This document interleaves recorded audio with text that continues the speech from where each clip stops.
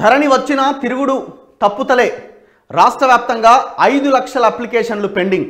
భూ సమస్యలు పట్టించుకోని సర్కార్ మరో రెండు పాయింట్ ఐదు సున్నా లక్షల పోడు పట్టాల దరఖాస్తులు పక్కకే.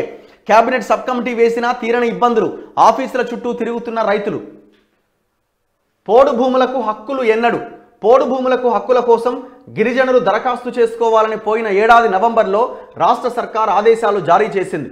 దీంతో లక్షల అప్లికేషన్లు వచ్చాయి ఖమ్మం భద్రాద్రి కొత్తగూడెం సూర్యాపేట ఆసిఫాబాద్ ఆదిలాబాద్ నిర్మల్ సంగారెడ్డి జిల్లాల్లో పోడు భూములకు హక్కులు కోరుతూ పెద్ద సంఖ్యలో దరఖాస్తులు వచ్చాయి దాదాపు రెండున్నర లక్షల మంది ఆరు పాయింట్ ఐదు సున్నా లక్షల ఎకరాలకు అప్లికేషన్ పెట్టుకున్నారు. ఇందులో అత్యధికంగా ఉమ్మడి ఖమ్మం జిల్లాలో మూడు లక్షల ఇరవై ఎనిమిది వేల ఎనిమిది వందల తొంభై నాలుగు ఎకరాల కోసం ఎనభై వేల తొమ్మిది వందల ముప్పై ఎనిమిది దరఖాస్తులు చేసుకున్నారు. అలాగే ఉమ్మడి వరంగల్ జిల్లాలో లక్షా తొంభై ఆరు వేల ఎనిమిది వందల ఎనిమిది ఎకరాల కోసం అరవై రెండు వేల నూట ఎనభై తొమ్మిది మంది పోడు రైతులు అప్లై చేశారు. అయితే ఈ భూములకు పట్టాలిచ్చేందుకు అనుసరించాల్సిన గైడ్లైన్స్ను ప్రభుత్వం ప్రభుత్వం ఇప్పటివరకు ప్రకటించలేదు. రాష్ట్రంలో ధరణి వచ్చి ఏడాదిన్నర కావస్తున్న రైతుల భూ సంబంధిత సమస్యలు మాత్రం తీరడం లేదు. లక్షలాది ఎకరాల పట్టా భూములు ఇంకా ప్రొహిబిటెడ్ ప్రాపర్టీ లిస్టులోనే ఉన్నాయి. దాదాపు ఐదు లక్షల అర్జీలకు ప్రభుత్వం పరిష్కారం చూపకుండా పెండింగ్లో పెట్టింది. ధరణిలో అవసరమైన మాడ్యూల్స్ లేక కలెక్టర్లు తహసీల్దార్లు కూడా చేతులెత్తేస్తున్నారు. సమస్యల పరిష్కారం కోసం కేబినెట్ సబ్ కమిటీ వేసి కొద్ది రోజులు హడావుడి చేసిన సర్కార్ మళ్ళీ ఆ జోలికి వెళ్ళడం లేదు. పట్టాదారు పాస్బుక్లో వచ్చిన సర్వే నెంబర్లు ధరణి పోర్టల్లో కనిపించడం లేదంటూ రాష్ట్రంలో ముప్పై ఐదు వేల మంది సర్కారుకు అర్జీలు పెట్టుకుంటే వాటిని ఎవరూ పట్టించుకోవడం లేదు. దీంతో వ్యవసాయ పనుల కోసం వెళ్ళాల్సిన రైతులు కలెక్టర్ తహసీల్దార్ ఆఫీసుల చుట్టూ తిరగాల్సి వస్తోంది.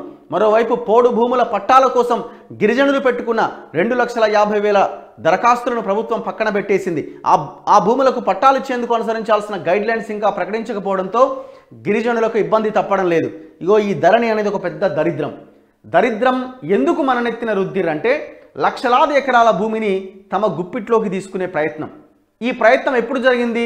భూ రికార్డుల ప్రక్షాళన టైంలో అంతకు ముందు రైతు బంధు ఇచ్చే టైంలో అనుభవదారుడి కాలాన్ని ఎప్పుడైతే ఎత్తేసారో కేసీఆర్ ప్లాన్ రెడీ చేసుకున్నాడు. కేసీఆర్ ప్లాన్ రెడీ చేసుకున్నాడు.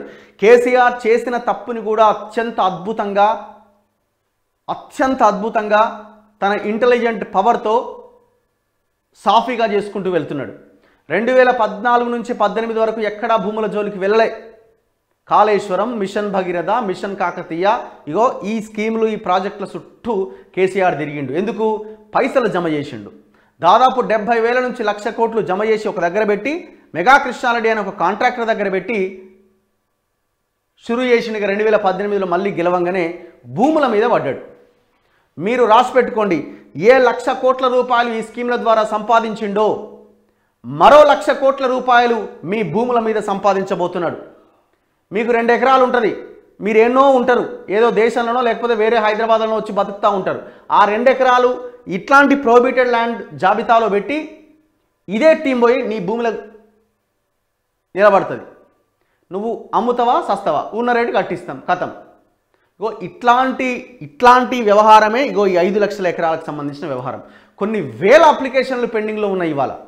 ట్వంటీ టూ ఏ నిషేధిత జాబితా కింద ప్రొహిబిటెడ్ ల్యాండ్స్ పేరుతో కొన్ని లక్షల ఎకరాలను పెట్టిరు దాన్ని ఎవ్వడూ పరిష్కరిస్తలేడు.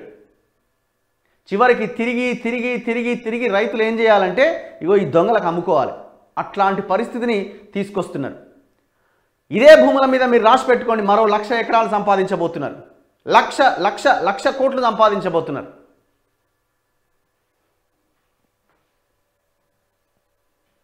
ఇంకా మనకి ఇంకా మనకి రాకపోతే ఏమి ఎవడు ఏం మార్చలేడు. ప్రజలారా ఒక్కసారి ఆలోచించండి.